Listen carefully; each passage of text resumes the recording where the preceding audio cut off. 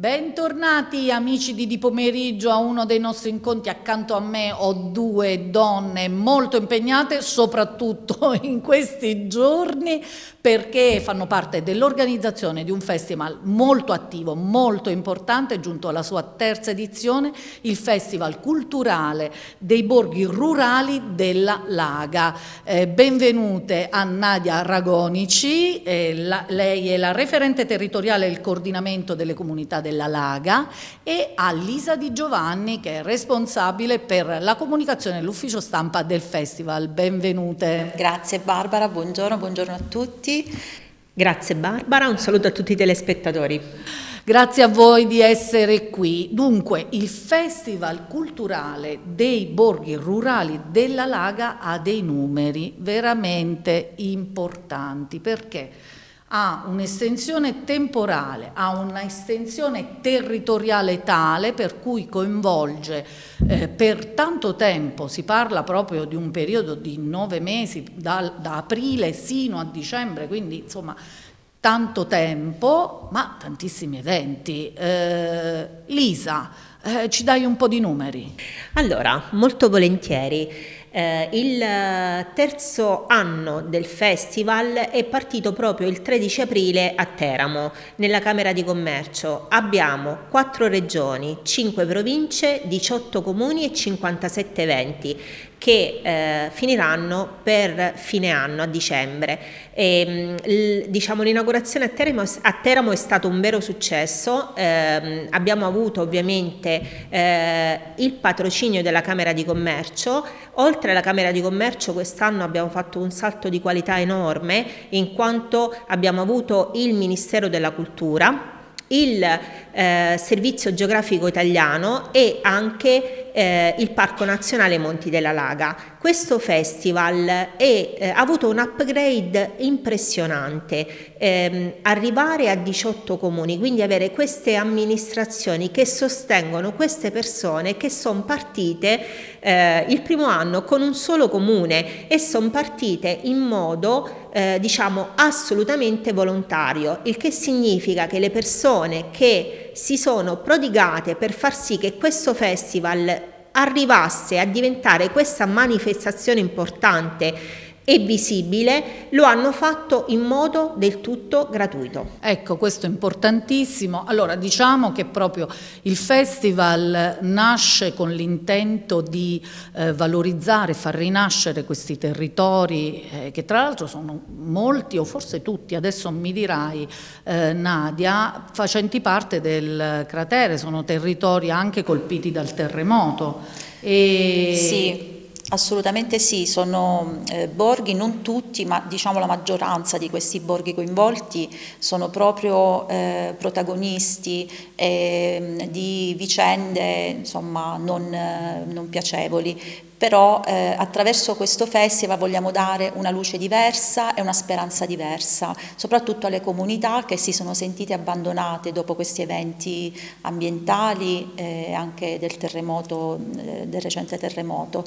Quindi quello che vogliamo fare è proprio in maniera volontaria, ma speriamo che mh, diventi un qualcosa anche di più virale, eh, certo. e si capisca l'importanza di questo progetto perché come diceva giustamente Elisa, quest'anno ci sono delle novità importanti, mm. comunque c'è il patrocinio del Ministero della Cultura molto, e davvero c'è stato anche l'ultimo incontro che abbiamo fatto su Roma, tutti i referenti insieme anche ovviamente a Lisa e mm, a Federtrek nazionale, ci siamo resi conto di quanto questo progetto sia sotto l'attenzione del Ministero della Cultura ma anche della società geografica italiana, perché si vuole dare una sorta di legame tra la Laga, che comunque è, è, stato un territorio fondamentalmente con luci spente per tutto il tempo, oggi sta iniziando ad avere mh, davvero la sua visibilità. Ecco, Grazie a questo coordinatrice, progetto. tra l'altro, ti, ti, trovi Io sono una a... della rete territoriale diciamo, di questo coordinamento che è nato davvero eh, in maniera spontanea. Dal basso. Dal basso, mm -hmm. dalle comunità e abbiamo proprio voluto dare un segnale anche forte, perché se pensiamo che lo scorso anno ehm, erano coinvolti eh, otto comuni. Ehm, oggi siete oggi 18. siamo 18, diciamo 19 perché c'è anche la comunità di Alvi, di Crognaleto e ci teniamo anche a segnalare questa cosa perché anche il territorio è stato colpito da calamità naturali importanti e mh, è voluta rimanere all'interno di questo, di questo percorso del festival. Quindi un impegno importante perché considera che noi eh, referenti, siamo sette referenti per i vari comuni che comunque erano comuni eh, presenti lo scorso anno, eh, ci sentiamo tutte le settimane attraverso delle Zoom, quindi ci mettiamo insieme delle, eh, le nostre esperienze ma anche le idee per poter poi realizzare un qualcosa anche di diverso rispetto allo scorso anno. Tra Ed è venuto... ci sono delle novità rispetto allo scorso anno perché eh, insomma, questo numero, intanto il, il, la partecipazione del Ministero. Sì, il Ministero, dire, ma poi anche con la direzione diciamo, della cultura, la direzione generale, attraverso delle ricercatrici che hanno posto proprio l'importanza di questo progetto di dare un valore alle risorse non solo materiali del territorio ma anche immateriali, quindi cultura, tradizioni che non vogliamo assolutamente perdere. Ed è quello che il festival in realtà va a cercare nei suoi percorsi percorsi. Mm, diciamo, ricordiamo che sono sempre eh, gli appuntamenti che voi proponete, sono appuntamenti itineranti, giusto? Sì, sono appuntamenti itineranti, non si, non si pensa ad una sagra di paese, cioè quindi il concetto è completamente diverso, è un, um, è un festival che si pone proprio l'obiettivo di far rivivere le tradizioni di quel posto attraverso proprio le comunità residenti e anche non residenti, perché molti borghi sono disabitati. Quindi abbiamo riportato eh, con quest'idea le persone a vivere questi posti. Il concetto è proprio della restanza, di ritornare sul territorio e anche di sviluppare le aziende che sono sul territorio perché comunque si coinvolgono anche ehm, diciamo, le attività che insistono su quel borgo in modo particolare, quindi non so, i, i pastori che producono il formaggio oppure delle aziendine eh, che producono eh, farina o anche la pasta, cioè eh, davvero è una sorta di mettersi insieme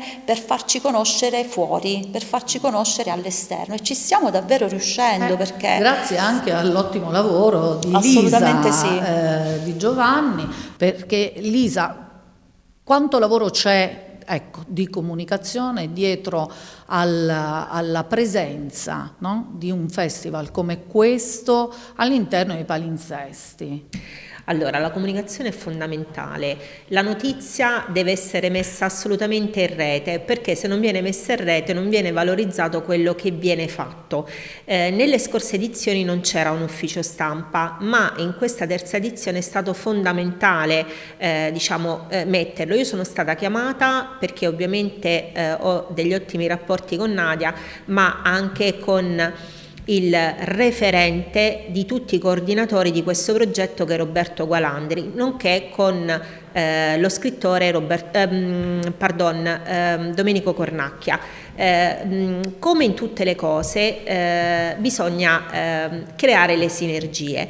Eh, per me è stato semplice eh, tornare ad occuparmi, eh, tra virgolette, della vallata, perché io sono di origini abruzzesi. Ecco, quindi... Ricordiamolo, sei di origine sì. abruzzese, ormai diciamo stanziale a Roma, dove a Roma, lavori, sì. insomma ti occupi di comunicazione eh, però hai accolto questo progetto come un progetto in cui ti sei proprio data moltissimo. Sì, allora io ehm, quando vivevo in Abruzzo ho fatto una gavetta tremenda per studiare, per laurearmi, eh, anche poi per andare oltre il Gran Sasso. E quindi tutte le volte che mi arriva qualcosa di nuovo, qualcosa, ehm, diciamo, qualche progetto ehm, che è un po' alle prime armi, in questo momento dove io mi trovo nella condizione di poter valorizzare, lo faccio con tutto il cuore. Perché? Perché io credo che molte volte eh, bisogna dare quel qualcosa in più senza chiedere nulla in cambio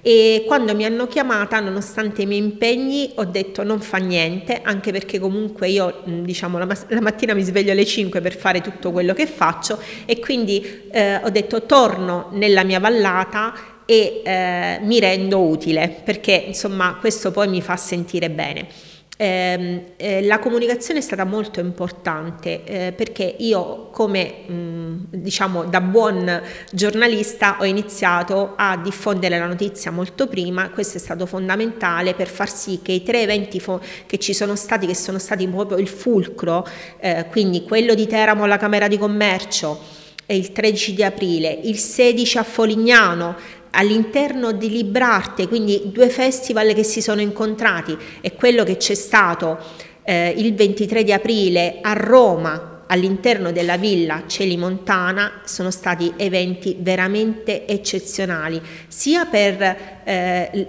diciamo, il contenuto de- degli eventi e quindi eh, la tavola rotonda, gli ospiti che abbiamo avuto, ma soprattutto proprio eh, perché abbiamo ricevuto eh, la direzione generale del Ministero della Cultura, abbiamo avuto il presidente della Società Geografica Italiana, abbiamo avuto due ricercatrici eh, che sono, stati, sono, state fondamentali per noi, ma soprattutto eh, le persone, ossia coloro che hanno fatto nascere questo festival. Nascere e crescere, perché e in queste crescere. edizioni devo dire che c'è stata proprio una crescita che è sotto gli occhi di tutti. Un'altra novità dell'anno è proprio questo Fuori Festival, un Fuori Festival che vede diciamo, protagonisti i parchi, questo territorio, eh, queste riserve no? che sono tra l'altro tra le varie eh, regioni. Quest'anno appunto c'è, eh, eh, le regioni coinvolte sono Lazio, Abruzzo, Marche e Umbria.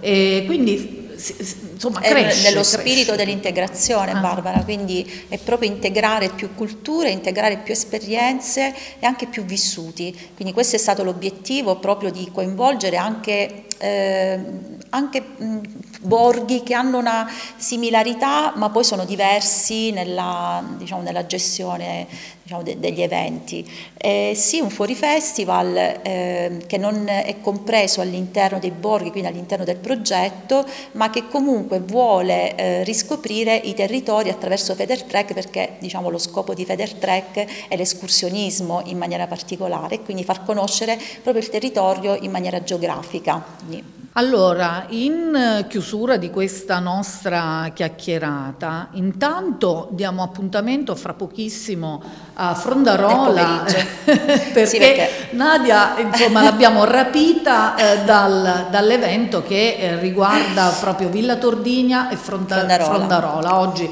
sì. Eh, questa mattina c'è stato tutto... Dedicato appunto alla giornata del lavoro, questa mattina c'è stata una rivisitazione, quindi una mostra eh, del mestiere del ramaio proprio alla ramiera di Villa Tordina, che è un borgo che insiste sul comune di Teramo, e, um, un po' i, i, mestieri del passato, appunto una tradizione del passato. Ecco, quel e anche no, della storia, delle sì. culture, di questo patrimonio immateriale che fa parte proprio della nostra esatto. storia. E poi nel pomeriggio saremo impegnati questo pomeriggio pomeriggio eh, su Frondarola, fra pochissimo, fra pochissimo eh. quindi proprio siamo agli sgoccioli, eh, perché insieme al professore Elso Serpentini, che ringrazio ovviamente per la partecipazione, eh, ricostruiremo un po' la storia eh, di questo territorio, insieme a Roppopò che lo farà in maniera eh, in, diciamo, musicale, cantata, perché appunto lui è un cantastorie. E poi ringrazio anche i ragazzi del FAI, del gruppo FAI Giovani, perché metteranno a disposizione attenzione la loro, eh, la loro cultura e quindi i loro studi e ci permetteranno di spiegare a chi arriverà da fuori eh, le peculiarità nostro, dei nostri borghi. Ecco, quello che eh, proprio si capisce dalle parole eh, che ho ascoltato, insomma, è da eh, dal grande programma che c'è del festival e proprio questa eh, voglia e questa necessità e anche eh, diciamo, questo lavoro di integrazione, integrazione di comunità, di associazioni, di... c'è un grande lavoro corale intorno a questo festival ed è forse proprio la, la chiave del successo. Di... Sì, la passione sicuramente è proprio la voglia di riscatto perché sono stati borghi, sono state comunità per troppo tempo silenziose e anche, come dire, senza una luce. È una piccola cosa, io dico sempre, eh, dal fare anche poco si può iniziare a fare tanto, perché già questo risultato di aver interessato e coinvolto tantissime comunità rispetto allo scorso anno, ma anche avere un ufficio stampa per noi un, che cura tutta la parte di comunicazione come appunto la, il, con Lisa Di Giovanni che è una giornalista a cui noi, che io stimo profondamente, ma eh, si è visto proprio il salto di qualità che abbiamo fatto a livello di comunicazione, quindi questa è stata una cosa molto importante per noi.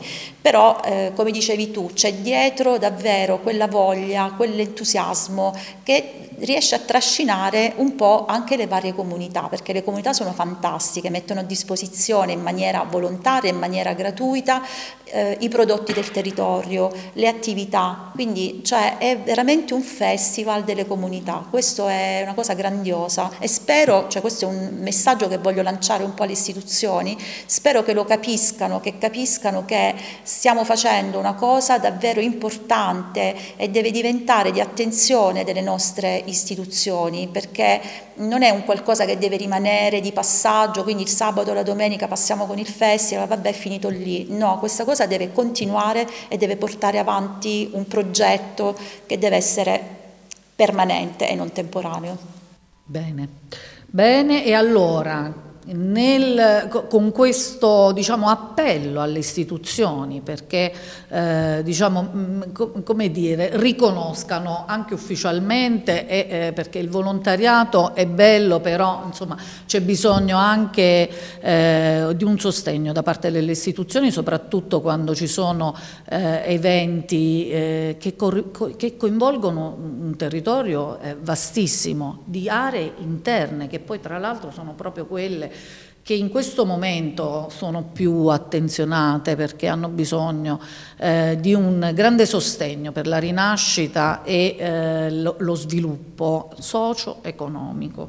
E allora io prima di salutarvi ricorderei i prossimi appuntamenti che non sono esaustivi perché il festival ha, l'abbiamo detto, 57 appuntamenti, non potrei qui elencarli tutti perché ci vorrebbe tutta la trasmissione, eh, vi elenco, vi dico solo che eh, sabato 18 maggio eh, l'appuntamento è a Ripe eh, a Civitella del Tronto, domenica 19 eh, so, il festival a Montereale, domenica 26 a Villa Villa Ripa a Teramo ma questo si incrocia poi con il Fuori Festival che ha eh, come date, cioè una settimana di Fuori Festival dal 25 maggio fino al 30, fino a giovedì 30 maggio.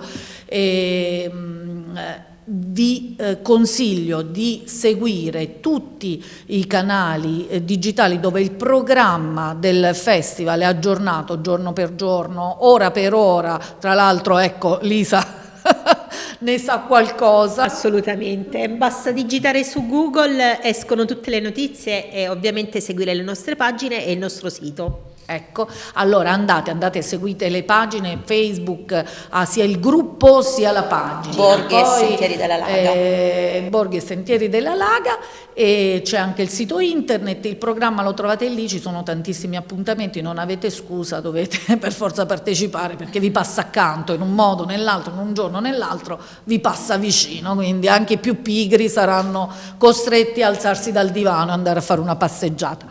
Ora, eh, quindi eh, con questo io saluto le mie ospiti, grazie molto veramente di essere state qui a parlare di questo festival veramente interessante, eh, grazie Nadia Aragonici, grazie Lisa Di Giovanni. Ma noi ringraziamo voi che ci avete dato questo spazio perché per noi è importante la comunicazione, quindi comunicare il più possibile di queste opportunità perché ci sono e affinché tutti vengano a partecipare, quindi grazie a voi assolutamente. Grazie. Grazie infinite e buon festival a tutti. Buon festival a tutti allora. E, e... buone virtù oggi perché oggi è un giorno virtuoso per il Teramano.